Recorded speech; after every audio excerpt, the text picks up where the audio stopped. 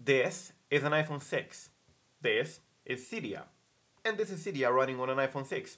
As you can see from here, it's running perfectly fine on an iPhone 6 and I can go ahead in here, do whatever I want to do and as you can see, things are working. In today's video, I'm going to show you how to do the same, but keep in mind it's a tedious process, so be sure to pay attention. So what is up guys, Joe Snow right here. In today's video, I'm going to show you how to jailbreak the iPhone 6 running 10.0 to 10.2. And we're going to use Yalu, but we're not going to use the official Yalu, we're going to use a uh, version that I created, a modified version because I wanted to make it a little bit different. So uh, I'm going to show you the official Yalu project has been updated to support the iPhone 6, but unfortunately the IPA that is available isn't updated, and as you can see it still supports only iPhone 6s and SE, which means we need to create our own. In order to create your own, you need to download the Xcode project, open Xcode, build it and play with code signing and so on. But I'm going to save you from that and I created already a Yalu fork, a Yalu IPA that is compatible with the iPhone 6. It's using the latest patches, uh, look at the scope made, and I created my own um, look for it. So we're going to, to see, in order to deploy it, you need Cydia Impactor, open it, and drag the application in here and simply sign in with your Apple ID and password. Alrighty, you click OK and it will start deploying the application like this and you should have it on your screen. I already used it as you probably see from the beginning of the video, but I'm going to show you how to deploy it. And keep in mind this is not the original Yalu, this is my own modified version. Uh, if you want to use the original, go ahead, but the um, code is not modified, at least not too much. I only made a new module that detects the operating system version, what iOS version you're running. So let's see on the device. Alright, so back on the device, as you can see it has the Yalu icon, but I renamed it from Yalu 102 to simply Yalu, and if you open it, it looks like this. In my case it says it's already jailbroken, so uh, please keep in mind this is not the official Yalu. As I said uh, here on the top, it says this is Joe Snow's FC365 fork. Fork means a modified open source tool and uh, it says this is not the original Yalu 1, uh, 102 or 10.2.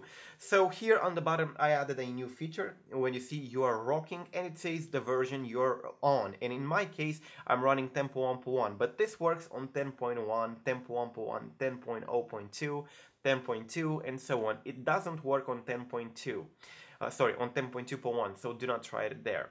Also, it's not supporting the iPhone 5s and the iPod Touch for the moment, and 32-bit devices are not supported.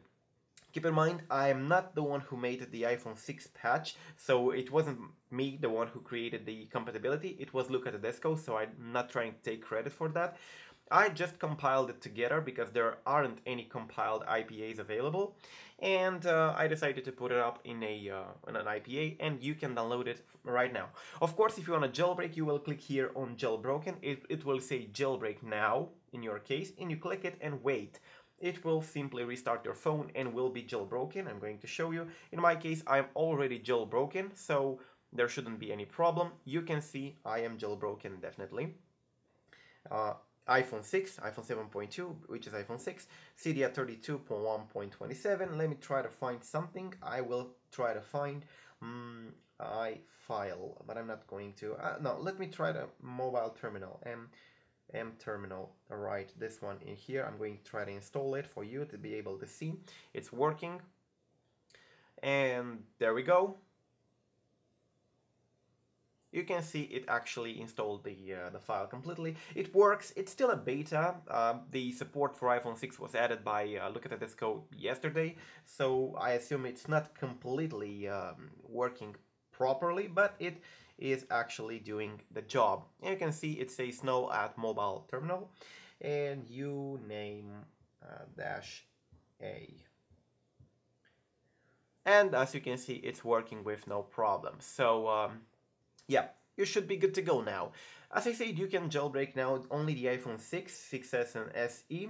Unfortunately, there is no iPhone 5s support for the moment, but there will be probably and most likely, so I'm gonna keep you informed. You can download my fork from GitHub, and you can also download the project if you wanna fiddle with it. And yeah, take this as my contribution to this, uh, this part of jailbreak.